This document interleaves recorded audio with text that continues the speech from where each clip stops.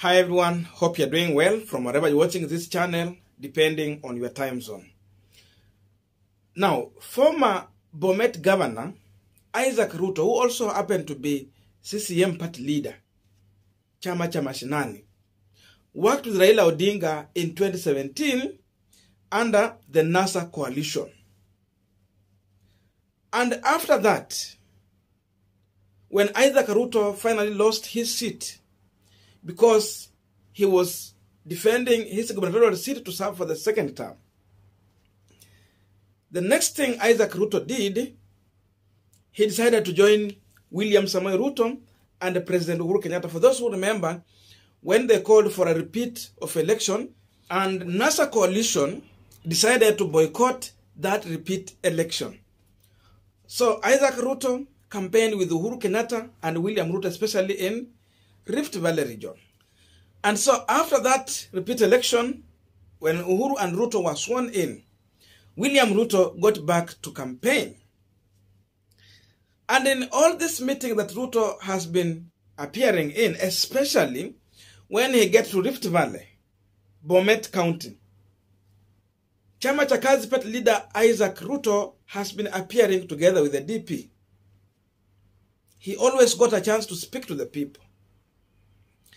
But in as much he was appearing, Ruto was still insisting that anyone who wants to work with him has to fold his party and join UDA party. He referred to any other political party as village tribal political party. But a time came when Ruto realized that UDA party was, was taking him nowhere if he seriously want to become a president. The only way to go about Kenyan politics, it was for him to embrace coalition.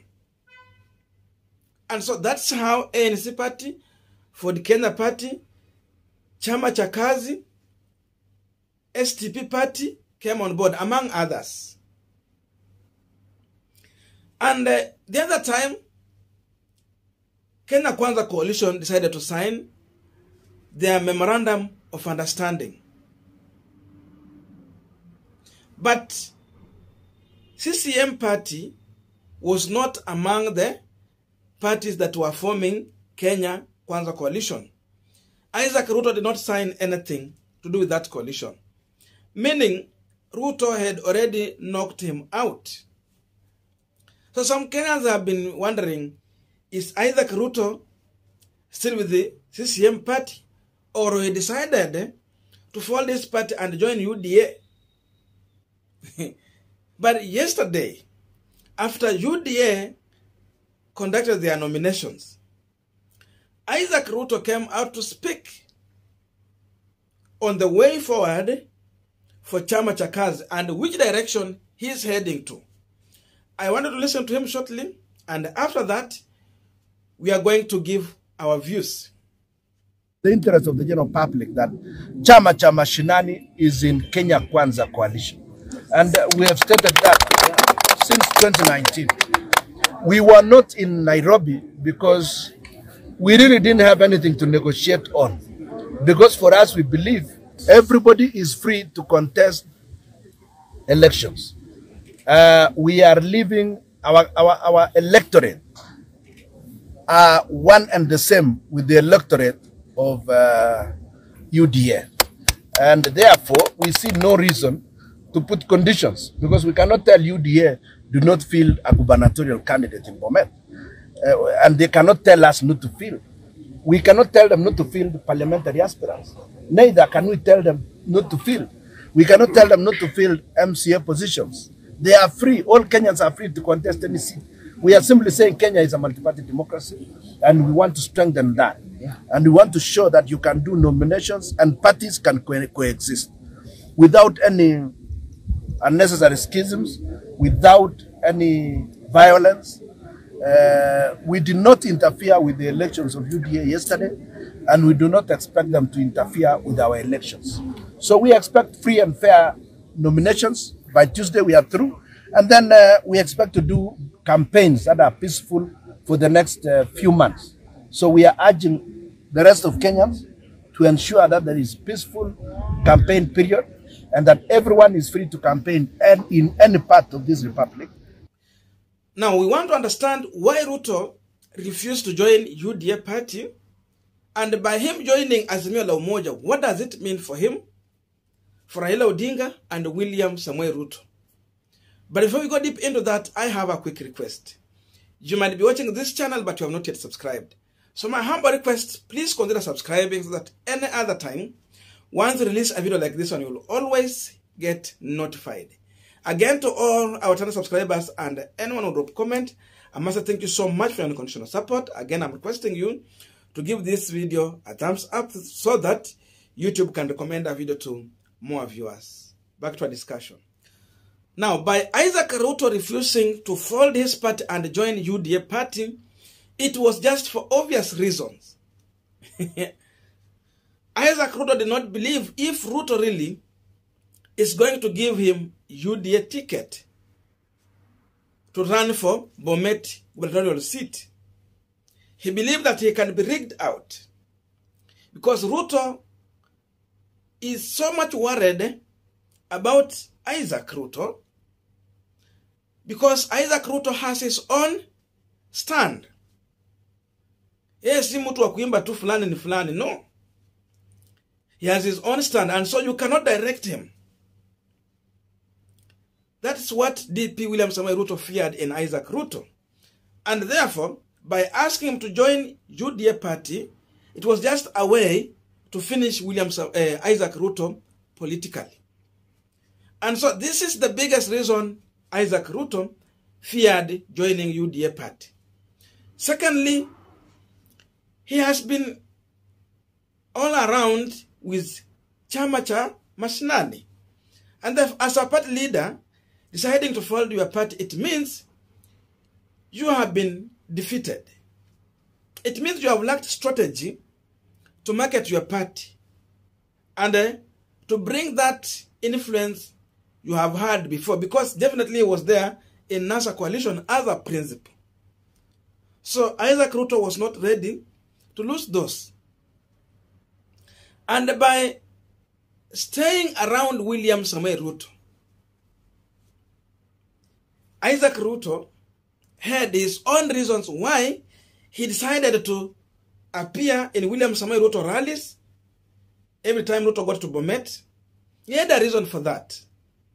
Number one, he wanted to prove to William Samoei Ruto supporters and the Kalenjins at large that he has no problem with William Samoei Ruto.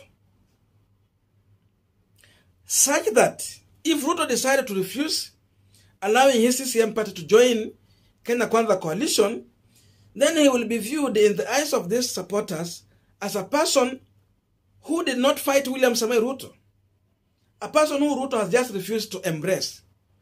Then in return, definitely, since they will be seen as someone who has been dumped by William Ruto, sympathy will go with it. We have people who are going to sympathize with him that he came with his CCM party, but Ruto refused to embrace the CCM party. So in one way, he will not be seen as someone who fought Ruto, and definitely we have people who are going to sympathize with Isaac Ruto. This is one of the biggest reasons why Isaac Ruto was appearing in William Samoei Ruto rallies. So definitely, when Ruto locked him out of Kenya Kwanza, we have people who will see him as a man who was just there. He did not fight Ruto. And definitely, people are going to sympathize with him, even when he's going to seek for his gubernatorial seat. We have people who will see him, in, and even he might use that to the campaign William Ruto in Bomet. I was around, but Ruto did not want us. So he will be saying the people of Bomet were rejected by William Ruto because he refused the CCM party, which happened to be originating from Bomet County. And by Ruto refusing to work with CCM party, it was just for obvious reasons. Ruto did not want CCM party to gain from the mistakes that UDA party was going to make on the ground during the primaries in the nominations. That is the same thing happened in 2017 between ANC and the ODM party. ODM messed with their nominations, and that is how ANC party benefited from those mistakes. So Ruto did not want CCM party to benefit and grow within Rift Valley. Because we are people who would, who are just fearing to go into UDA nominations because they understood that they will be locked out. So for that reason, it was going to be very easy for these people to join the CCM party because definitely CCM was going to be in Kenya Kwanza coalition and still supporting William Ruto. So in that way, CCM was going to harvest. Ruto was avoiding this to happen in Rift Valley. He only wants CCM, uh, UDA party to be the only party of the region.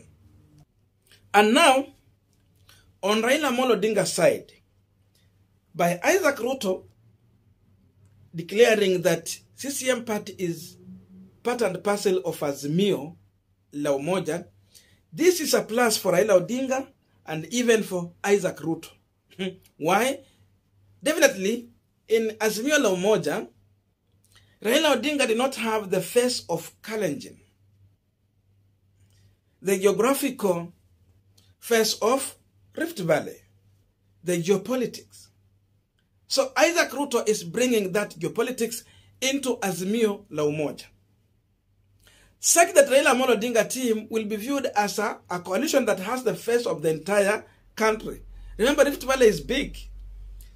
And the, the only individual who can bring this face in Azimio la Umoja is Isaac Ruto because Isaac Ruto is a popular man, a man of his own words, and a very vocal politician on ground. So that is the first Isaac Ruto has brought to Raila Amolo Odinga campaign. This will come with perception votes that Raila has been definitely accepted in Rift Valley. In as much Rift Valley have a presidential candidate, there is still another political party within that area. Sorry for that, that is still supporting Raila Amolo Odinga. So that is a plus for Raila. And even this perception, definitely it always come with real votes. Because there are people who are going to be convinced that Raila has numbers in Rift Valley. And the undecided definitely are going to go into that direction. So you cannot ignore Isaac Ruto. CCM party cannot bring zero vote. There is something they will bring on table. And uh, to Isaac Ruto as an individual, again, this is a plus for him because in case Raila Amolo will make the next government, if Raila forms the government, and let's assume Isaac Ruto failed to clinch to Bomet gubernatorial seat, then he has a space. Raila will easily nominate Isaac Ruto into his cabinet. So he will not be in the cold like last time. He will be a CS somewhere. That's the truth. But let's assume again, in case he win the Bomet gubernatorial seat, still he has a space within Azimio whereby I believe there's a possibility just to have the face of Rift Valley, Raila Odinga will give a chance to Isaac Ruto to nominate someone in his cabinet as a CS or a CAS. So still in that way, Isaac Ruto will be the face of Rift Valley in Raila Amolo Odinga government. This is privileges that Isaac Ruto will enjoy. Now, I don't what you think about this, but that's my view. So let us have a continuation of this conversation through the comment section. Otherwise, thank you so much for listening to me up to this far. May good God bless you and see you in our next video.